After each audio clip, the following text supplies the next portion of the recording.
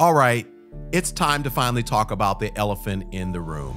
There are a lot of videos circulating around YouTube claiming that me, Allen Parr, is a false teacher. And if I'm being honest with you, it bothers me. Like, I am a real human being. And what human being would not be bothered if you're out here trying to make godly biblical content and you have a crew of people out there that are making videos that are disparaging and discouraging their audience from following me and telling them to unsubscribe from my channel. I'd be lying to you if I wasn't at least a little bit tempted to make a response video to all of the videos that have been made about me because many of them misrepresent my views, they use sound bites, take certain things out of context. So I figured I would finally go ahead and respond to all of the negativity and the criticism that has been launched against me over the years. Now, why am I making this video? Because this isn't some sort of rant or uh, an attempt to clear my name or anything like that, because by now you all know me well enough to know that everything that I do on this channel is biblical, it's purposeful, and it is intentional. And so the real reason why I'm making this video is to hopefully model for you all how you should handle or respond to any sort of negativity or haters or criticism that might be unleashed in your life. So, I've got about six reasons why I don't respond to most of, if not all, of the criticism uh, that people have uh, shared on YouTube publicly about me. And I'm going to hopefully give you some biblical reasons that you can follow in your own life as well. Reason number one is that I don't want to get in the way of the gospel of Christ being preached. Now, in Philippians chapter 1, the context here is that the Apostle Paul has been unjustly put in prison for preaching the gospel. Now, while he was in prison, there were some people who were some haters of Paul. Maybe they were jealous of his ministry or whatnot. And they took the opportunity, knowing that Paul could not do what he wanted to do because he was in prison. Paul could not preach. Well, they took the opportunity to uh, to disparage Paul's name and to malign him and slander him and things like that. And so this was Paul's response here. He says, It's true that some are preaching out of jealousy and rivalry, but others preach about Christ with pure motives. They preach because they love me, for they know I have been appointed to defend the good news. Those others do not have pure motives as they preach about Christ. They preach with selfish ambition, not sincerely, intending to make my chains more painful to me. So Paul is saying, hey, there are some people out there that are genuinely preaching the gospel, and hey, they've got great motives, they're pure motives. Okay, good. Kudos to you. But there's another group of people out there that they, Paul's like, they know that their motives are not really, you know, pure, right? Uh, and they intend to to create emotional harm to Paul with their message. And he says those people have impure motives. But notice Paul's response. He says, but that doesn't matter. Whether their motives are false or genuine, the message about Christ is being preached either way. So I rejoice and I will continue to rejoice. For I know that as you pray for me and the Spirit of Jesus Christ helps me, this will lead to my deliverance. So Paul says, you know what? Even if their motives are impure, even if they are trying to tear me down and slander me and malign me, I'm not going to respond. I'm not going to retaliate. I'm not going to get in the way because at the end of the day, the gospel is still being preached.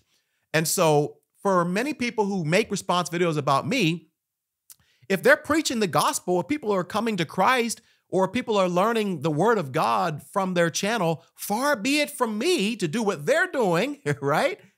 To discourage people from following these people simply because I might disagree with a point of doctrine here or there. Let me not get in the way of what Christ may want to do through their ministries, uh, the way they may be trying to uh, discourage people from following my ministry. So that's the first reason. The second reason is because if I'm being honest with you, I don't want to give them a platform. And what I mean by that is if you notice, most of the people who make response videos about me or even some other people, if I'm being honest, most of them, uh, they're smaller channels, right? They're smaller channels. And if I'm being honest, A lot of times they put YouTubers who have larger platforms, their names and their pictures and their thumbnails because they're trying to get views. It's for shock value. They're trying to get momentum on their channel. It's the same thing that many secular YouTubers do. They put Mr. Beast, who is like the largest YouTuber in the world, they'll put his name in their title and uh, their his face on their thumbnails because they know if other people see Mr. Beast on their thumbnail or their title, then they're going to be more uh, uh, inclined to watch that video or whatever, right? So I get that. Okay, that's fine. But for me to make a response video to a channel that, a smaller channel that I don't agree with, and I name them, then what I'm doing is now I'm exposing my entire audience to their ministry and giving them a platform and giving them a voice. And uh, that's just not something that I want to do. Reason number three is that I am trying to avoid any sort of division in the body of Christ. The Bible says, again, I say, don't get involved in foolish, ignorant arguments that only start fights. Listen, if I make a response video to somebody who made a response video about me, and then they make another response video, and then you got all these other YouTubers who are making these response videos about response videos about response videos. What's happening, y'all? It is furthering the debate, it's furthering the division, it's furthering all this back and forth, and it's not productive. That's why Paul says to Timothy, don't get involved in it. It's foolish, it's ignorant, and it only starts fights. He says, stay away from those things. So, because I read the Bible and I see these verses, I'm staying away from it. I'm staying away from the drama. I'm staying away from responding because many of you have emailed me say, "Hey, brother Allen, did you see this video that somebody made about me or about you?" And they'll send me these links and different things. And it, when are you going to respond? What's your response? How are you going to respond? My response is I'm not going to respond because the Bible clearly tells me that I need to stay away from any sort of foolish, ignorant arguments that are going to lead to division, strife, and fights. Not only that, guys, I am very, very confident in what I teach on this particular channel. And most of the channels that are, you know, launching these videos or whatever, they just have a slightly different or nuanced view about something that in my mind is secondary, right? And many of them, they'll say, oh, Brother Allen's a false teacher because he teaches eternal security, right? Or he teaches this particular nuanced view of this, that, or the other. I can tell you that the views that I hold are consistent with the views that I learned in Dallas at seminary, Dallas Theological Seminary, which is considered by many, and I'm not boasting, I'm just saying it's considered by many the Harvard of theological schools. I mean, this is the best theological school in the country. And most reputable Bible scholars agree with about 98 to 99% of my theological teachings. What you're getting from this channel is, is not heresy or false teaching or strange teaching that's different it's consistent with Orthodox Christianity that has been passed down to us from generation to generation. I'm not making up any sort of new doctrine or anything like that. All right. So that's the next reason. Now, the fourth reason might be the most important, and that's the fact that it's a distraction and it takes me off of my mission of preaching the gospel. Notice that uh, Paul says this, but my life is worth nothing to me unless I use it for finishing the work assigned me by the Lord Jesus the work of telling others the good news about the wonderful grace of God. Paul says, I'm on mission. I can't be distracted with all this extra stuff because my mission is to is to point people to Christ, to tell them of the good news, the wonderful grace of God. Guys, if I were to trace down and and track down all the different videos that have been made about me over the years, you know, I, my whole channel would be about trying to clear my name and refuting this and rant and going on a rant and trying to defend myself to this person, that person, this person, that person. I'm a Bible teacher. I don't have time to do those things. And so that's going to deter me and distract me from my mission.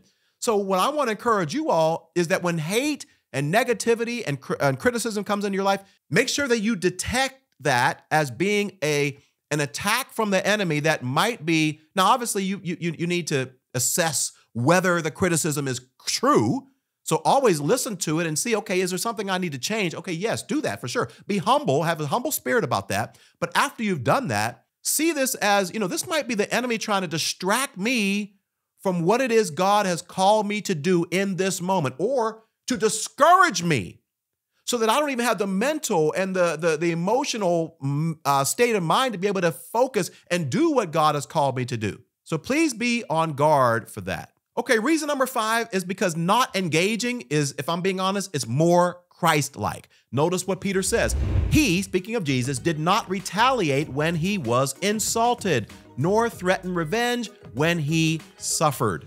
See, so he says, hey, even Jesus, whenever Jesus was on the cross, when he was being reviled, when he was being insulted, Jesus did not open his mouth. He did not retaliate. He did not threaten revenge when he suffered. I'm saying a whole lot more about my character, and I'm not boasting, I'm just being honest with you, when I don't respond as to when I do.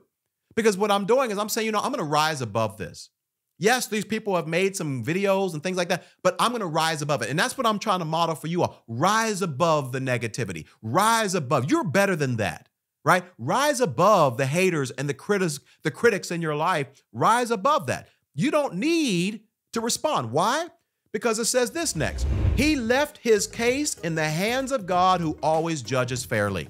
Jesus says, you know what? I don't have to do anything. God's going to fight for me. God's going to handle these people. God is going to deal with these people. And that's the mentality I have, guys.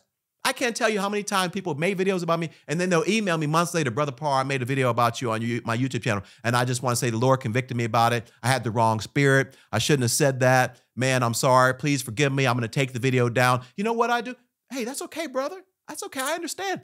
God is dealing with people. And, and, and that's something, guys, when people are coming against you, trust God to deal with them. Trust the Spirit of God who lives in them to work on their hearts the way God is working in your life. And finally, number six, I choose to take the high road. Notice what it says here don't let evil conquer you, but conquer evil by doing good. You see, whenever you respond in negativity, what you're doing is that you are allowing someone else to control you by taking you out of your Christian character. They are taking you from a place of operating in the spiritual realm to now responding in a fleshly realm. You're letting somebody else dictate and control your character. The Bible says, don't let that evil control or conquer or overcome you, but rather conquer that evil by what? Doing good. So, to say a whole lot more about your character if you just don't respond. So, guys, at the end of the day, these are the reasons, uh, amongst a few others, that I just don't choose to respond to the negativity that is out there about me. And uh, at the end of the day, guys, I'm trusting in your discernment to kick in so that as you are watching these videos and you're listening to people saying, hey, Allen Parr, false teacher, John McCrae, false teacher, Andy Stanley is a false teacher, Ruslan is a false teacher, Joe Kirby is a false teacher, whoever the people that you listen to, I'm trusting that your discernment will kick in and be like, ah, I, I don't, I'm not seeing that. I'm not seeing that. I, I, you know, I hear this, these points. They're very, they, they sound good, but yeah, I just, I, I don't see that. I don't see. I'm trusting in your discernment to kick in there. All right. So, guys, I hope you found this video helpful. That you can apply these principles to any sort of criticism or hate or negativity that may come in your life. And hopefully that answers the final question as to my reaction or my response to why I just choose not to respond to most, if not all, of what uh, people might choose to put out about me. All right. Hope you found this video helpful, and I'll see you in the next video. Peace.